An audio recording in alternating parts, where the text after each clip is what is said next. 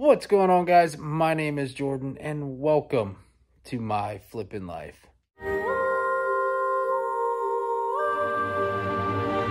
So today, we're gonna unbox the Cauldron Creep.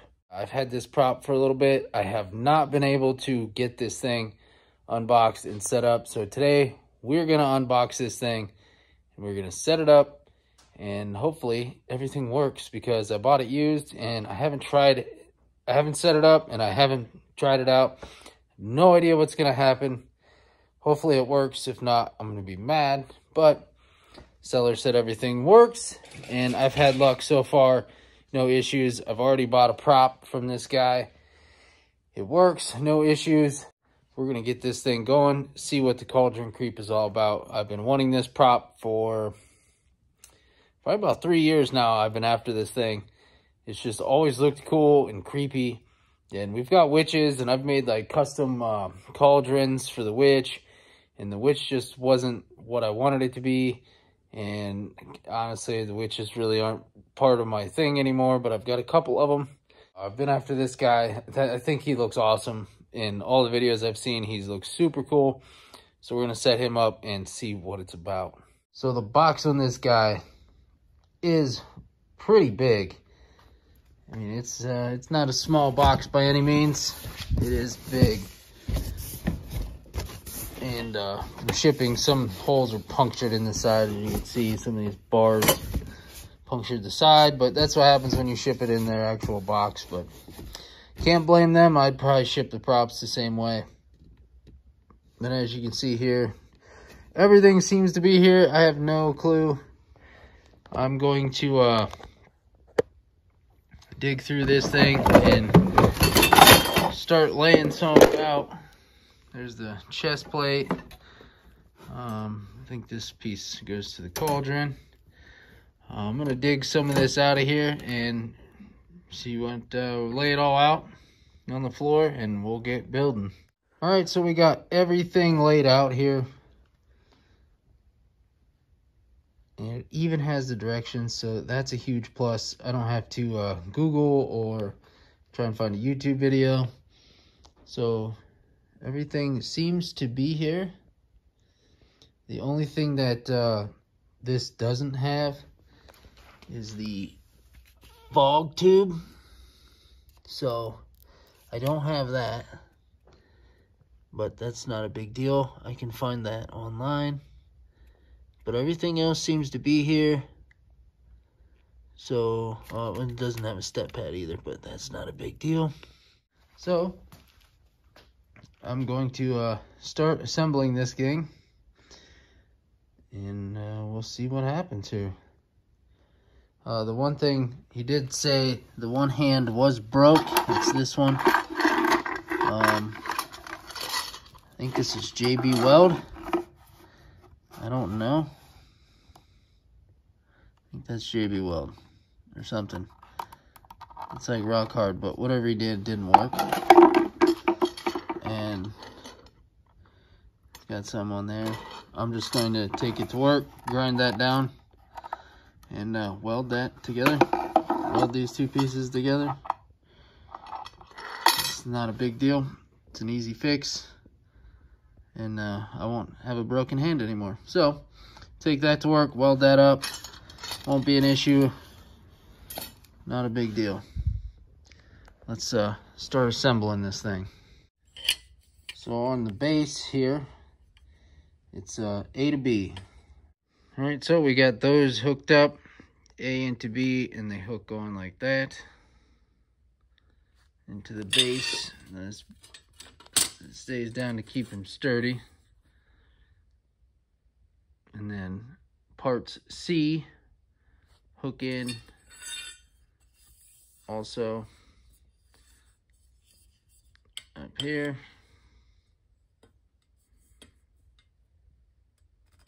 But I'm going to shut the camera off and hook these in and we'll jump back on. Okay, this is gonna start going pretty quick here, I guess.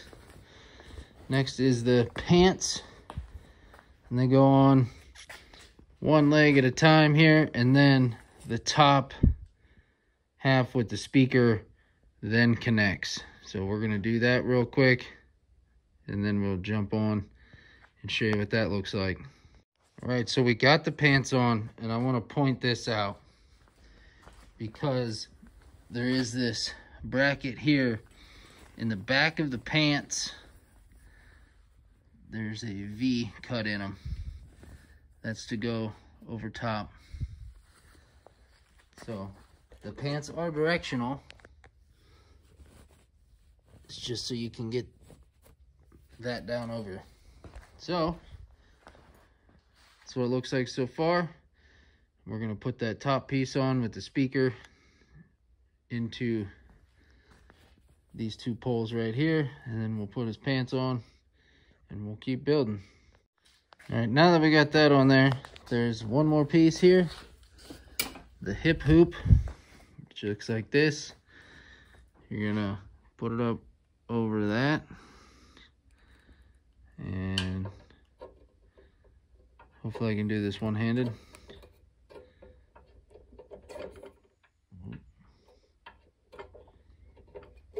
Just like that.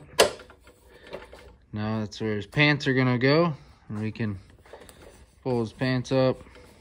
So we'll do that. And then we're gonna move on to the torso. All right, so here we are. We got this all done up. So when you're getting in here, this is your chest plate mount, the back torso, like his back, and then this one is the head, which moves up and down. So we're looking for part G, which is the chest plate. And this guy is gonna go right here. I might have to do this off camera. Oh, nope. Okay, so chest plate mounts there. So, looking like that. So this would be the front. This is the front where the arms come down. So, Next is part H. And this is going to mount in these two holes right here. We're gonna shut this off and we're going to install this piece and then the head. Okay, we have the back on and the front. I said the front one mounts down here through those two holes and this one just mounts in here into these. And then your head's gonna mount right here. And then your wire connects into the head there. So let's get the head out and install that. This guy, I love how this head looks. This head looks sweet. And I guess the jaw moves, but it broke apparently. So he just opted to uh, hot glue it rather than just put some screws in it because all it does is just like uses gravity to like move up and down. So I guess I could uh, drill some holes and just put some bolts and washers in there and do it. But I love the the texture on this thing. The the head I love this face so okay just like the chest plate. It's gonna go down through these two holes, just like that. These two wires here connect. So I'm gonna connect these and we're gonna move on to the next step. Next step is the costume. The directions say to put the costume on first, then the head. We're gonna see if we can just uh, do that without. So we're gonna put this costume on him and see how this goes. Okay, so here we are it would be easier to uh, take the head back off. So it'd be easier to put the costume on and then the head. Uh, but it's doable just putting the head on and working your way through it. But uh, if you want a little bit less headache, go ahead and just, you know, put the costume on first. Uh, it should cover all this up. We'll see. Once we get going here, gotta put the arms in yet. That's the uh, next step. So we'll see how this goes. But I wanted to show you what he looks like so far here. he's looking pretty sweet. Let's uh, move on to the next step. So we're gonna stick the arm that's labeled K, which is this one, up the sleeve. And then in here, and his arm's gonna be way up here because he's gotta hold that staff here. So we're gonna put that in. Okay, so we got that arm in. It is kind of a pain to get it up through the costume there, but we got that in. Now he's reaching out. And the next arm is L, which is, mine's broke, so he's not gonna have a hand at the moment unless I just tape it up for a mock-up, which I'm probably gonna do. So we're gonna put this in there, we're gonna tape it up and just uh, see how it goes. Okay, so we got that hand taped up in there. I'm not real sure how well that's gonna work out, but uh, it's in there. It's holding for right now. I just got it taped up on the end there quite a bit. So just to do a demo, I guess we'll do that and then we'll take it apart, take it to work. Uh, the next step is putting this cauldron together and I got to put all those pieces in there so it like dishes out the cauldron. So we're going to do that. Okay, so we have these little guys and they go, there's little things here and then there's also little ones on the top of the cauldron so this holds it all up so when it's all done it'll be you know standing up so we're going to put all these in and then we will show you what it looks like all right so there we go we got this all you can imagine this is the front with all the creepy cloth on it so Next, we're gonna see what else we gotta do because that's all done. All of them just fan outwards. All your wires in there. Next is this piece. Um, I need to hot glue that that light back on. Right there. Anyway, that goes down in here and goes into these holes.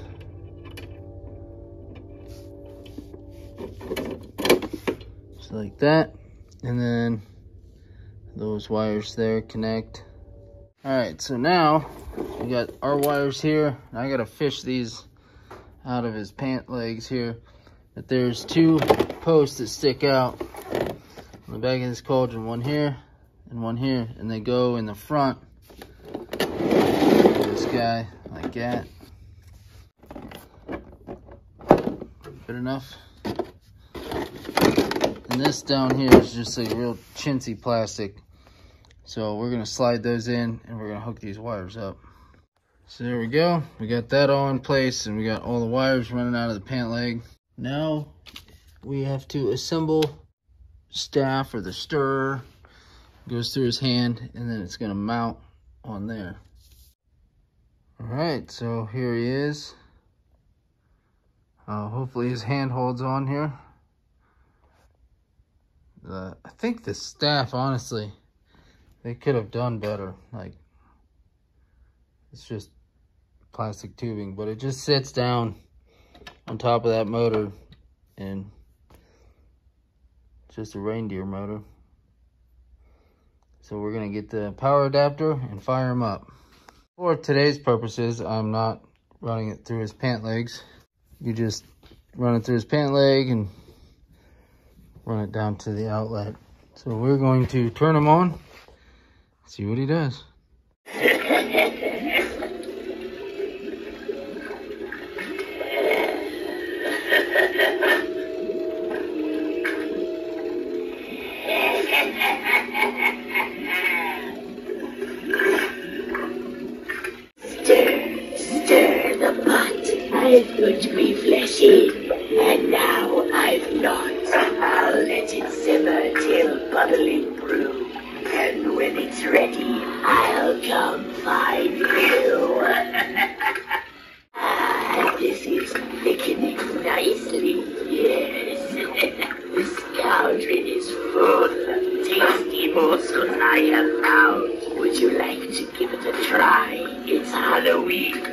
anything can happen this night.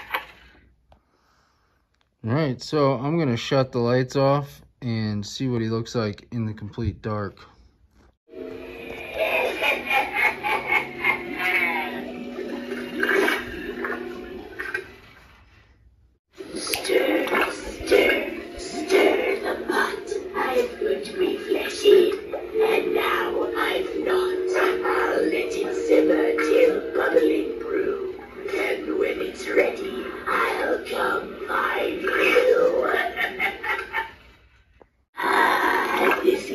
So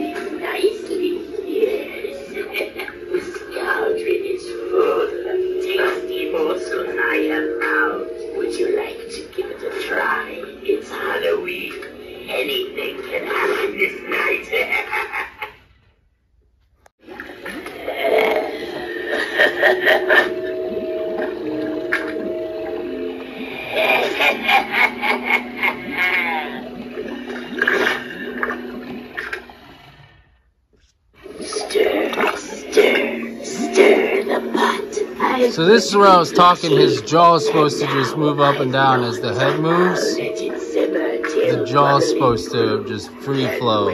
So if you just drill a hole in a bolt washer,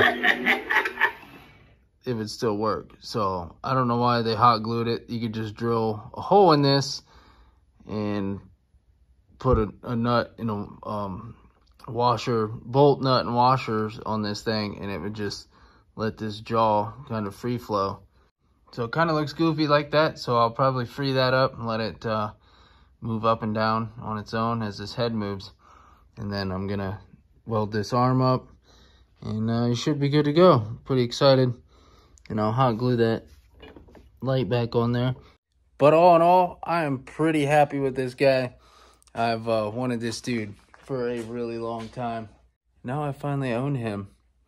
And I own this giant headless horseman back here. I own the cauldron creeper. I'm pretty excited. This year's going to be a lot of fun. Uh, this guy's going to look awesome out front. But I'm uh, excited this guy works. I mean, the audio is great. Uh, nothing's like hardcore broke. Everything's easily fixable. I'm pretty excited about that. So we're going to fix that hand. We're going to fix his jaw and fix that light and everything should be good. Yeah, I'm glad I bought him. He's definitely cool. I I enjoy this. I enjoy this prop. This is really cool looking. Uh, just the textured in the hands. I mean, the hands are got some gross texture to them.